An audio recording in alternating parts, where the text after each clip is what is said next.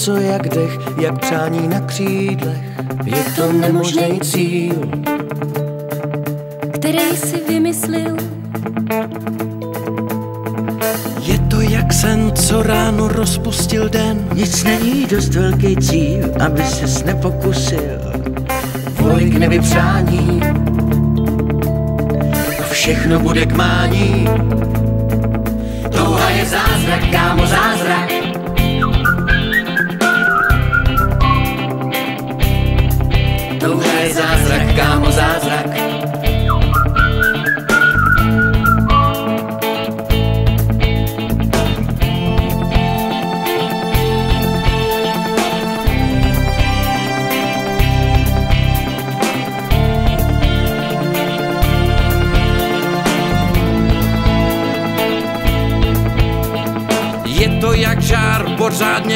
Veliký dar. Je to jak letící drak, naprosto přesný prak.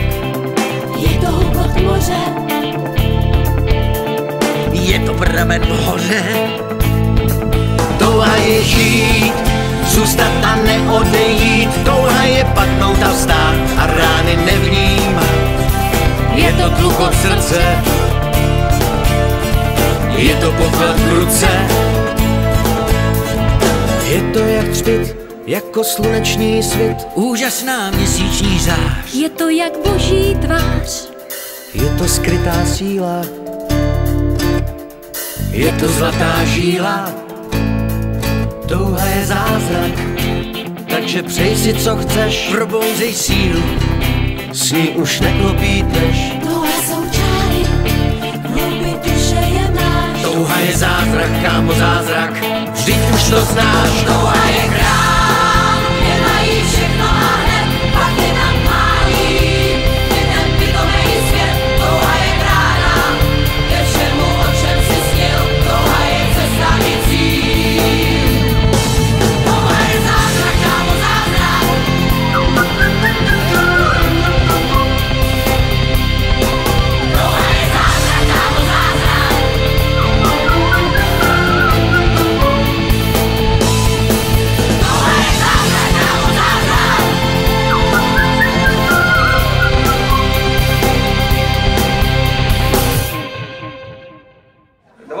Představil jenom tady, pojďte se však nahrnout dovnitř, pak se zase udržíte frontu, abyste jenom, budete muset říkat dvakrát, pamatujte si, kdo před kým stál nebo za kým. Prosím vás, tak tady eh, z, z mé strany zprava, z vaší zleva, eh, eh, a doleva a od vás opačně teda, vidíte, možná nevidíte, ale eh, tam potom bude na konci, tam Ruda Hrušinský, který ve filmu představuje pěknýho, to to uvidíte v uvozovkách, Miriam Landa, autorka, režisérka a naše dobrá duše, která sedí tady. To je ta mladá blondýna v těch brýlích na hlavě. Vedle eh, toho možná znáte, neznáte nadějná tvář českého eh, showbiznisu Filip Tomsan. Eh, Pak já, zkrachovaný kuchař a různý kubuda. eh, Ve filmu mám malou, nicméně významem velkou roli. A Matouš Matouš Raimond, který eh, ve filmu zahrál nádhernou úlohu company managera, myslím, že ty z vás, kteří film ještě neviděli a uviděli, dneska se pobaví, takže chtějte autografy, ptejte se, co chcete, prostě jsme tady jenom pro vás.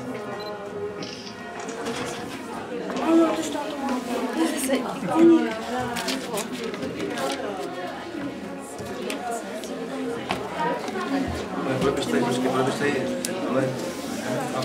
No, na podepisu... Poprosím. Podepiš se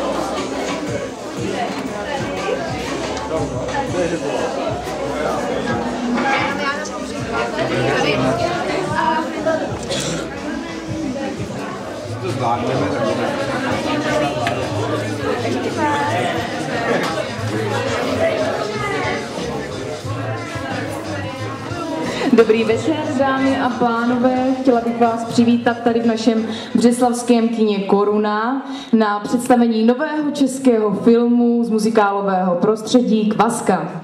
Zároveň bych chtěla poděkovat hlavním sponzorům Stag de Domanín, Hotel Čech a agentura REP Film, kteří, eh, díky kterým jsme eh, byla umožněna tady tahle autogramiáda.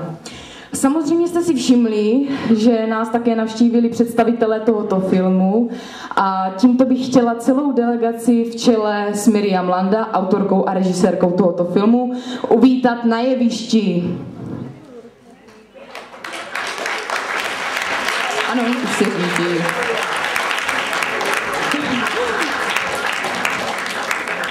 Miriam. Miriam trochu přibrala. Já zase omlouvám se, jsem vtrnul jako velká voda, ale Miriam sedí na bobku vedle a má nějaký důležitý telefon, asi zřejmě zakázka na další film, takže, eh, takže já bych pozval mezi tím jiné kolegy, nevadí, že, že pozvu, tak já tam přes ta světla, potoč mi to prosím, děkuju. Eh, tak vidím eh, Matouše Raimonta, Matouš, pojď, pojď, pojď, pojď, pojď, potles prosím, ano, děkujeme. Jana Maculíková, Další důležitý, další. Filip Tomusa. A Miriam Landa telefonovala, ano. A jsou jako poslední Ruda Hrušínský. A Kačenka Rodková, naše produkční. Pojď Kačenko, pojď taky nahoru, pojď, pojď, pojď. Patříš do týmu. Já se přiznám, přátelé, tak pojďte ještě, můžeme ještě, tak ještě půjdeme kousek, tak abychom se nevešli všichni. Já zaberu za čtyři. Já se tam přiznám, že nejsme zvyklí na to, my jsme se tak koukli a říkali jsme si, že- že tady sedí asi 8 lidí a vy jste nahoře, jako jo. No ale pojďte dolů, ne? Jako, nebo máte dražší, to jsou dražší stupenky nahoře. Jo. To je ale opravdu zvláštní, že dole nikdo nesedí a nahoře jsou všichni nadspaný, že jo. Vy tam máte vydechaný vzduch určitě nahoře, ne? Nebo, nebo takhle, aspoň na tu první část pojďte dolů. Fakt jako, pokud vám to nikdo neobsadí. Na tu první část a co? Tak pojďte, pojďte, pojďte, pojďte. Pojďte dolů, hodem, normálně to přeskočte.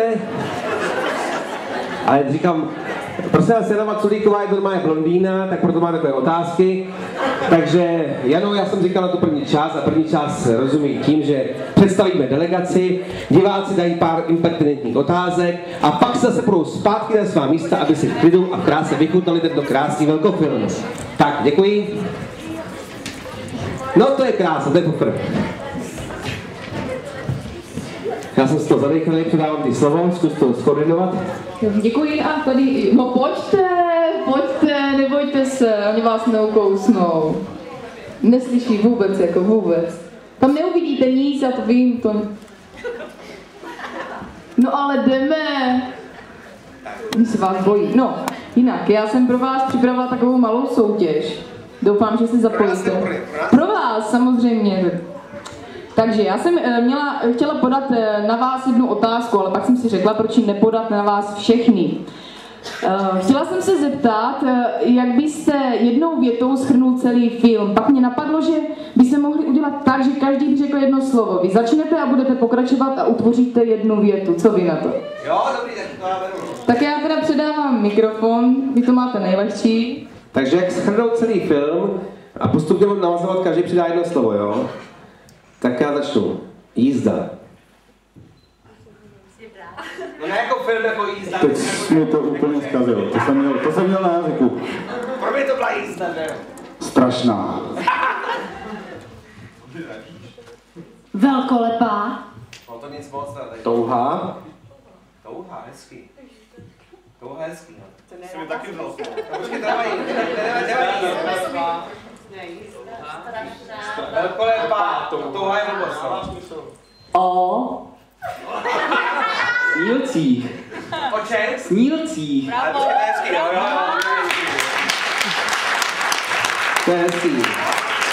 Jízda uh, velkolepá, to bylo? Jízda strašná velkolepá, touha o snílcích. Ano, velkolepá touha o snílcích, to dává smysl, to je krásný. Spokojená? Jasně, spokojená. Zeptám se, tak já převezmu úlohu, jako, tak zeptám se tebe, už jsi film viděla? Ne. Počkej, to bylo zaváhání a já tuším proč asi, protože určitě ho má stažený z internetu, že jo? Co? Už jsi viděla nějaký DVDčko vypálený na černo? To je zakázané. No já už to viděla takhle. Ne. Hele, jak to zní leze. Prosím vás, se tady někdo doviděl ten film normálně v kině? Opravdu jste ho viděli? A jdete po druhý? Za svoje vlastní prachy? No to je úžasné. To je nádhera. Je tady někdo, kdo to viděl už je, je- jednou předtím někdy? Co? Ještě někdo jiný? Tak a je tady někdo, kdo to viděl na DVDčku? A, a, a koupil jste si DVDčko kde? Co? Nekoupil to DVDčko, ještě nevyšlo, že? jo? Takže, takže na DVDčku to viděl, ale stažený z internetu. V jaký to bylo kvalitě? Špatný. Špatný, že jo? Takže, eh, a dneska jste si stupenku koupil, nebo jste ji dostal? Koupil, takže ty jste dokoupili z říchu, malinko aspoň, že, že konečně uvidíte, jak má film vypadat ve správné kvalitě, v Dolby Surround, nebo čem to bude tady prostě, prostě ve velkém formátu. Tak, máš nějakou otázku v těchto? Chtěla bych se zeptat, eh, jak jste se z dráhy eh, zkrachovalého kuchaře dostal k filmu? No, já musím říct, že jsem, děkuju, že předtím, než jsem eh, se dostal k filmu, tak jsem kromě zkrachovalého kuchaře zkrachoval i v dalších osmi profesích. Eh, Byl jsem dovozce textilu z Turecka, eh, prodavač kancelářského nábytku, ohně strojář, producent a všude jsem zkrachoval. Až teprve Miriam si mě všimla, když jsem ležel na dně, všimla si mě a zvedla mě a říkala, pojď hrát ve filmu za slušný prachy, prostě tam tě čeká velká kariéra. A takhle jsem nastartoval svůj vlastní eh, asi 15. kariéru v životě. A všimla si vás pro váš talent nebo pro vaši velikost? Pro moji krásu samozřejmě, to je jasný. Pro moji velikost se mít. Já musím říct, že s Miriam, eh, abych to opravdu mluvil, tak s Miriam se známe asi 7 let nebo kolik, možná díl, když Miriam vlastně uváděla v život eh, druhé uvedení krysaře, a kdy já jsem vůbec nepomyslel na to, že budu jakýmsi divadelním hercem, kdy ještě a volal mi Richard Tesařík, tenkrát říká, ty vole, náma do muzikálu, opr- oprašuje se krysář a můj dama, když tam hraje a oni si vás tu furt pletou, tak aby si vás nepletli, tak pojďte normálně spolu hrát. A já říkám, počkej, já žádný muzikál hrát nebudu, mi je 40, já se nebudu, že dám muzikál, že jo. A pod proto sám, tak jsem šel, přišel jsem, vysek jsem pukrle Miriam, říkal jsem vodokodský kuchař a budu dát muzikál, a říkal, tak jo, tak jsem do toho takhle spadnul, že jo. A od té doby se naše osudy prolínají a musím říct, jako, že velmi krásně, protože Miriam i Dan jsou úžasní lidi a já s tím dělám hrozně, hrozně rád. Ale aby jsme odešli ode mě, protože já nejsem ten podstatný, podstatná je právě Miriam, která to všechno spískala, já si k ní přejdu tady. Miriam, která původně totiž zamýšlela videoklip, udělat takový jako tříminutový a tak se ráno probudila a zjistila, proč by dělala videoklip, když může udělat celý biják rovnou, jako, že jo. Eh, Jak dlouho trvalo, Miriam, eh, to rozhodnutí od videoklipu k filmu? Jak dlouho ti to trvalo, než jsi to zrealizovala? Tak eh, to trvalo od dopsání scénáře asi, jako realizace myslíš natáčení filmu? No, co tě napadlo, že nebudeš dělat videoklip a že uděláš film prostě a začneš to natáčet, tak jak dlouho to trvalo? V Hollywoodu to trvá normálně 5 až 6 let. No, tak v Praze to trvá takový dva měsíce.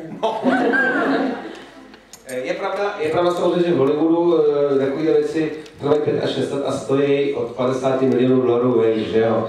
Eh, Kolik, prosím tě, eh, kolik se musí sehnat peněz dneska, řádově, na takovýhle český biják?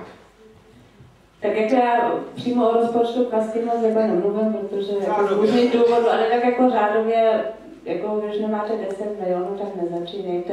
Pokud točíte jako na, na film, jako na 35 mm, samozřejmě na DVDčku se dá točit levněji, ale my jsme prostě chtěli, aby to bylo jako normálně kvalitní film, jako jsou právě ty hollywoodský diák. Miriam je prostě zbytečně skromná, já vám to řeknu jinak, prostě samozřejmě všichni říkali, Miriam to šla DVDčku, bude to levňoučký, je to prostě rychlý. Miriam ne. Když už jsem vymyslel z DVD klipu film, tak to chci na film, to všem všude, to znamená s celým štábem, se světlama, s velkým komparzem, že jo, s velkou scénou. Ostatně sami to uvidíte, ti z vás, kteří to ještě neviděli. A takováhle věc, musím říct, dneska v České republice stojí v průměrném provedení Uh, mimochodem konkurenční film, který je stejnou dobu s náma v kině, ale který zapadnul, jmenuje se myslím Tajemství Maharalu nebo tak nějak, ten stál kolem 30 milionů. Jo. Tak uh, uvidíte, uvidíte sami, že za film, který je nepodstatně nevější hodně. eh, se dá pořídit více parády, když na to vezmou ty správní lidé. Nicméně prachy si někde sama musela, že jo? Jak se ti povedlo za měsíce na peníze? To taky nechápu. No, eh, já jsem tak, já jsem to dopsala, byla jsem z toho strašně nadšená, že to chci natočit. To je základ pro všechno. To i uvidíte ve filmu, tam taky ta postava něco hrozně chce a pak se jako nějak zkusit prostě tou cestou jít a pokud chcete něco dokázat v životě, tak jenom chtět. Musíte chtít a pak to dokážete, opravdu. Takže já jsem vlastně určitě s tím nadšením přesvědčila všechny, že prostě ty plachy budou úplně super jako zúročeny. A protože hrajou, a ti už od včerejška taky, hrajou golf, Ano. a Ivan včera byl poprvé na první hodině a je naprosto nadšený.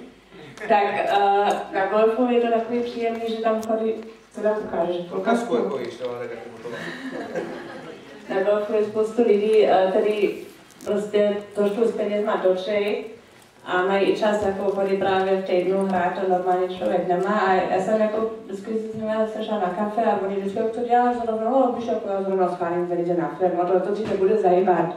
A samozřejmě hned otázka, jako, a co to jako je za film? A no nic, jako prostě, tak jako, ale mega by si mohl, co? Jako, a takhle prostě dopadne. To je jako tak ale jako, trošku to samozřejmě zlehčuju, ale v podstatě pravda to je.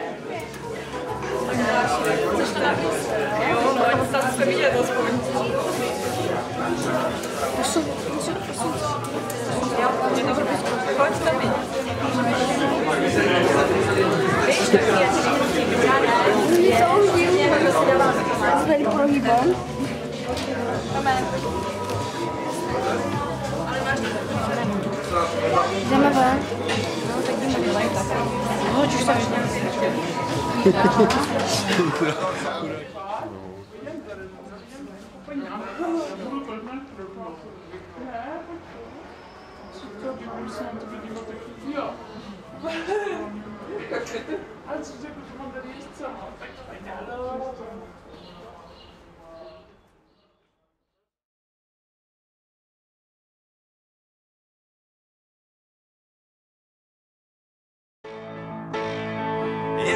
sen, co ráno rozpustil den, nic není dost velký cíl. Franto, prosím tě, tam je C, ty jsi zpíval D, vem to ještě jednou.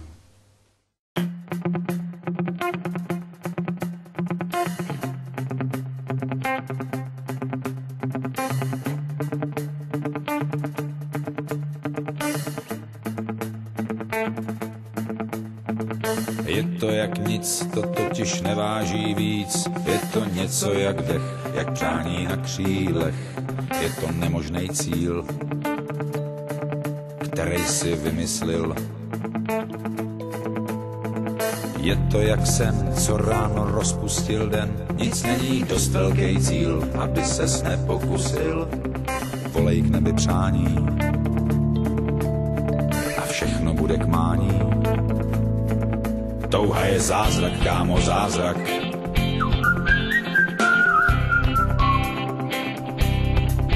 Touha je zázrak, kámo, zázrak.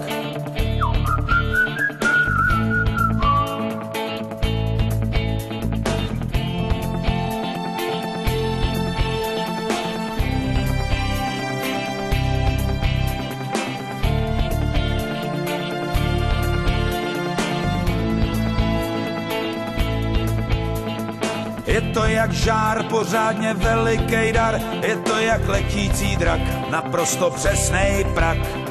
Je to hukot moře, je to pramen v hoře. Touha je žít, zůstat a neodejít, touha je padnout a vstát a rány nevnímat. Je to tlukot srdce, je to poklad v ruce,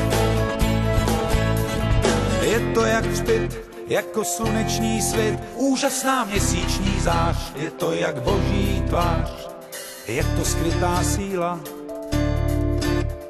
je to zlatá žíla, touha je zázrak, takže přej si, co chceš, probouzej sílu, si už neklopítneš, touha jsou čáry, hlouby duše je máš, touha je zázrak, kámo, zázrak, vždyť už to znáš, touha je král, kde mají všechno a hned, pak je tam má